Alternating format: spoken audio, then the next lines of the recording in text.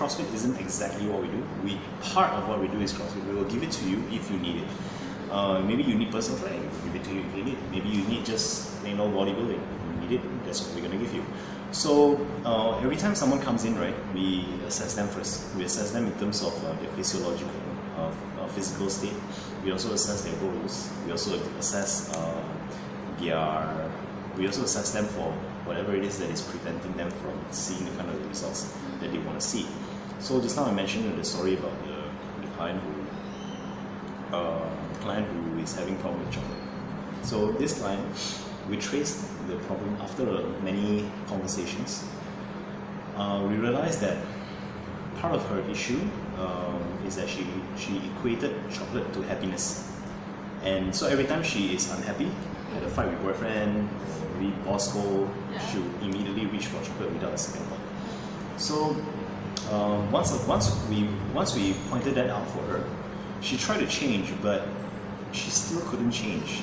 So we delved even further into that, and, and I didn't tell her anything. We just I just asked questions. Most of the time, our coaching session is gonna feel like we're just having a conversation. Um, so yeah, uh, after after that happened, right, we, we, we figured out that um, the root cause of it all is actually got to do with her stress management. Now there's, there are a few ways you can handle stress. First way is you can just avoid stress altogether. But is that really feasible? Not really. Not really, right? You can't avoid stress. There's no way you can avoid stress. Uh, the second way is that you can do something to alleviate stress, and that is um, what people normally do, like drinking alcohol. They can do things like uh, just chilling out with friends, and they can drink, or make, or they can go, go. They can do some positive things like traveling and reading a book, or just entertaining themselves. But it can also lead to some very unproductive things like Netflix until 2 a.m. in the morning. You know, it can it can lead to having chocolate. Uh, it can lead to drugs. So the third way that we can do uh, to to uh, manage and handle stress is by making ourselves strong enough that the amount of stress that happens in our daily life becomes inconsequential. You see, so there are many many ways that we can we can go about this.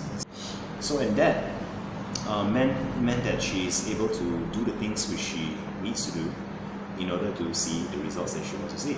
And now she has never looked so good in her life. Uh, so that's how that's how it works. Unraveling of the blocks. So um, aside from this, right? Basically, when it comes to training with me, um, this is more like consultation. So I can give you a free membership over here. The reason why we need to ask and understand this is because many times um, what we think we want versus what we really want may have a disconnect. So when you when you say uh, when you say a reason why, it has to resonate with your end goal.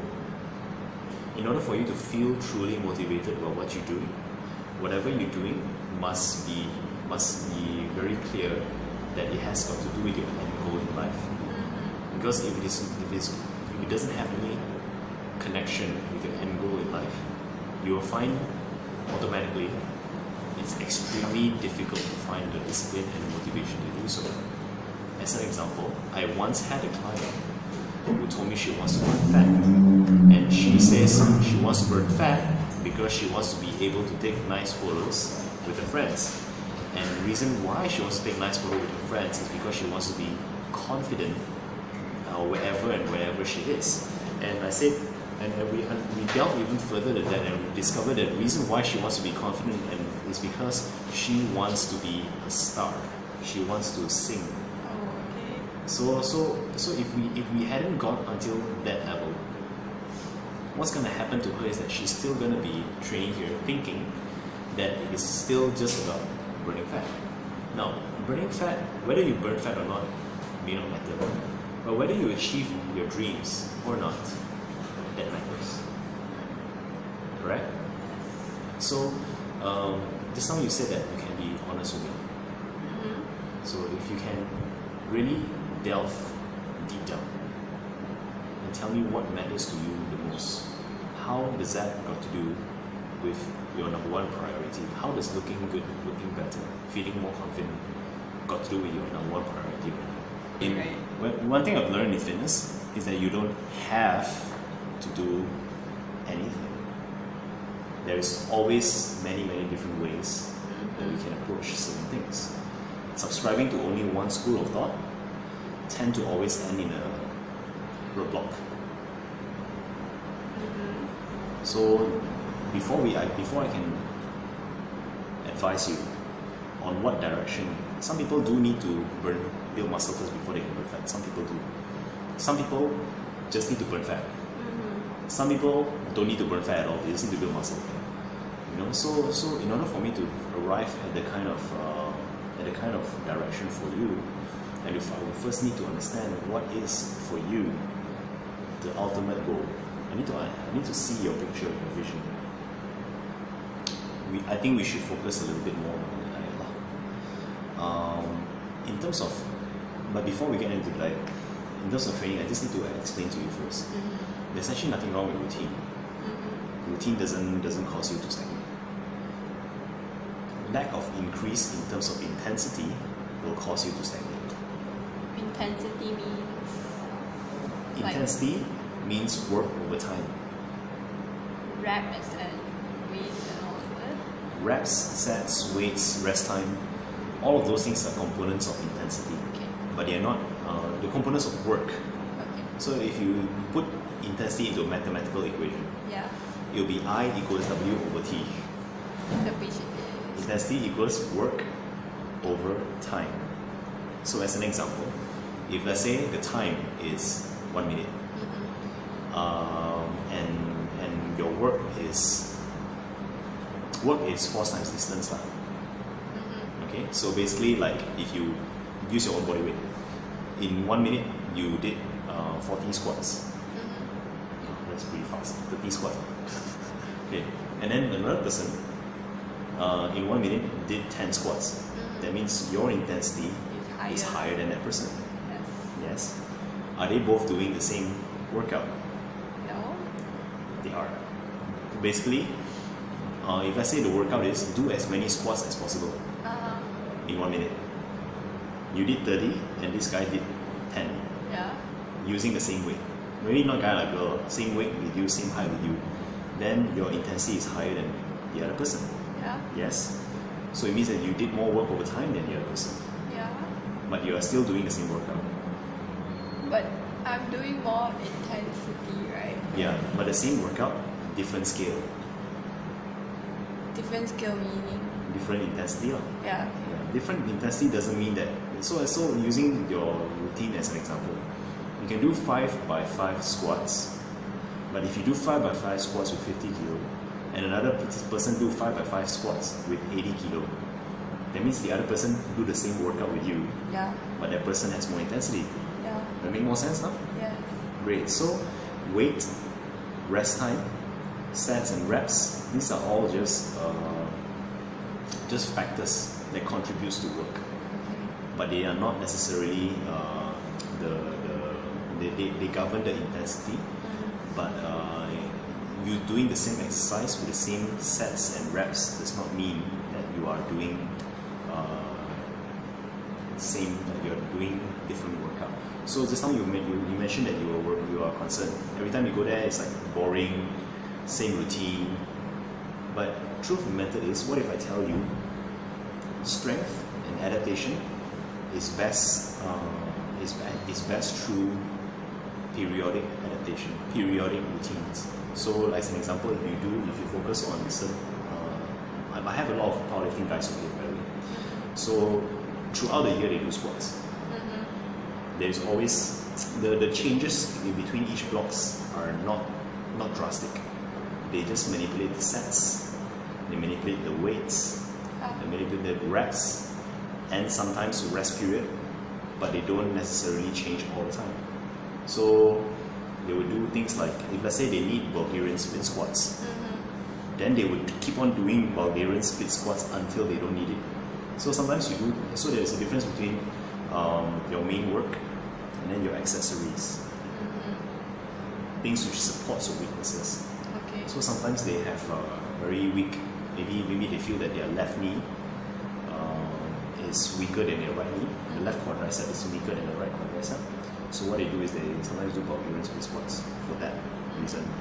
Left, and then they make sure that uh, both using the same weight and the same reps to make sure that the left can catch up to the right. But they always have that main core, Yeah. you know. So basically, what I'm trying to tell you is you must always have a core, and then you supplement the core with certain additional exercises that reinforce your weak points. So as in, so when you when- if if someone goes to a gym and they say that oh I like glutes so I'm gonna work on more glutes. Uh, if let's say your your problem wasn't glutes and you keep on working with the glutes, then you're not gonna solve the problem. Yeah. So as an example, if sometimes you see someone has a flat booty, is the glutes really the problem? May or may not. be. Because sometimes it may be due to posture. What if the glutes are flat only because the lower back is not strong? Okay. Okay, so this person keep on doing um, glute isolation, but didn't think about the lower back at all. Then the problem isn't gonna solve. Makes sense or not? Right. So, uh, so having so in terms of uh, in terms of direction, we need to understand also uh, what is the don't be worried whenever you feel that uh, this is getting too boring and whatnot. Truth matter is, uh, you can switch around the additional things. The core of certain things should maintain, and your core should be catered to you. Make sense? Okay, so having said that, normally, uh, even if you just go online and just search up, when I say when I say program, I don't mean workout. Uh, I will give you a program. Probably one of my coaches will write it, me, but uh, we will give you a program. But uh, there's a difference between program and workout. Do you know the difference? No. Workout is like you Google or you look at Instagram. Today do this one and that one and this one and that one and this one and that one. Okay. It's a workout Okay. or maybe a training training routine today. Today's training Ah, routine. okay. But a program is is planned. This first month we're gonna concentrate on one. The second month we're gonna concentrate on one. The third month we're gonna concentrate on one. Uh, so you have a periodization. You incorporate certain things. So like uh, my coaching. So uh, have you tell me if you heard of this before? The key to building muscle is actually happen uh, after your training. But during your training, you sort of have to tear shit down so that after that you will have a super compensation that will build your muscle up. Have you heard of that before? Great. So it means that the potential of how much muscle you can build after your training depends on what you do, depends on the intensity of your training during the exercise, during the session. Yeah.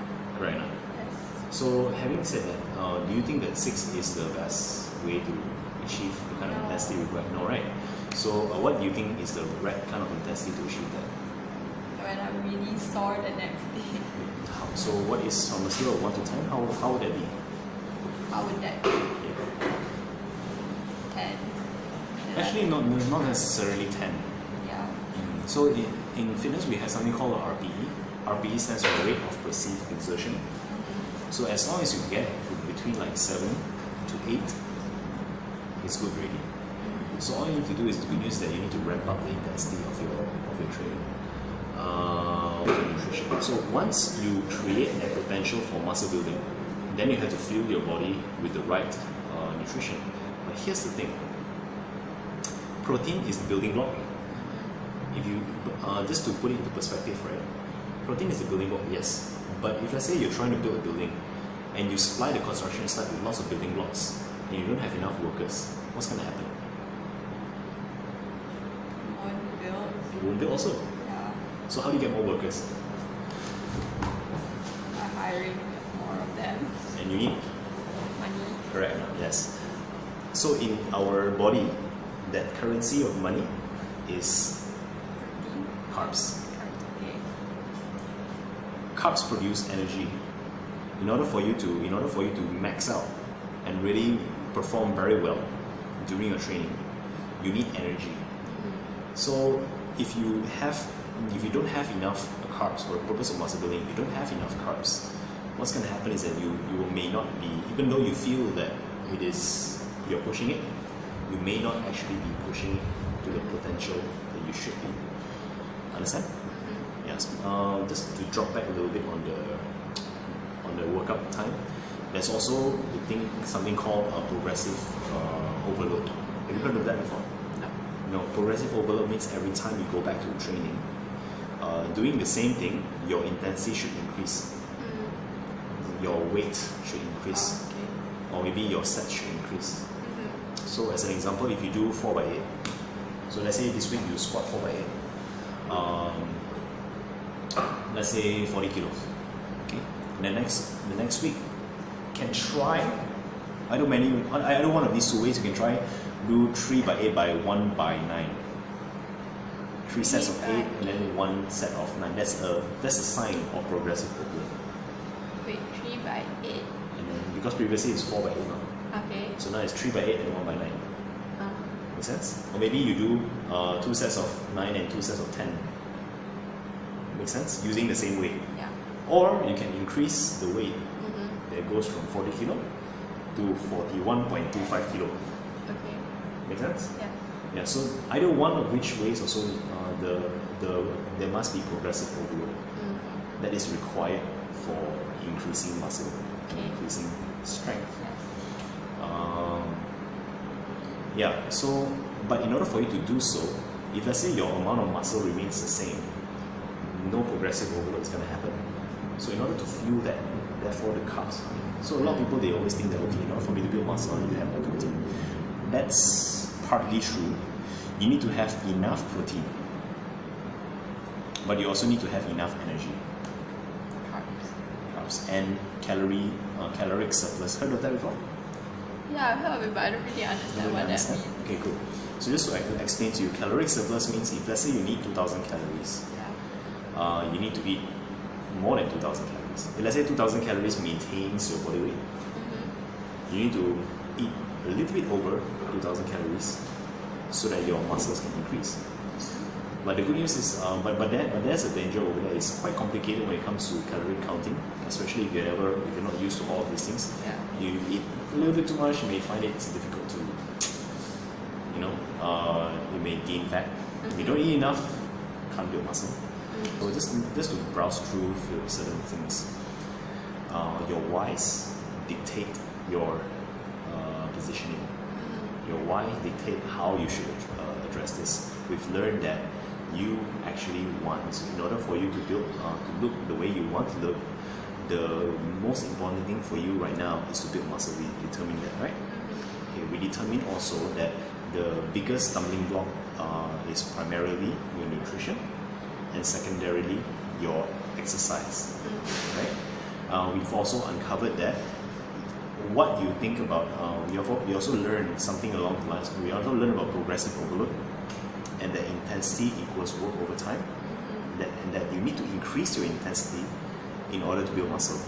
You've learned that, right? Yes. Okay, and you've also learned that protein isn't the only component needed for muscle building. Yep. You actually need carbohydrates. Mm-hmm. Okay, cool. So uh, you and your you and your I will, I will assign a coach to you. Okay, I will assign a coach to you.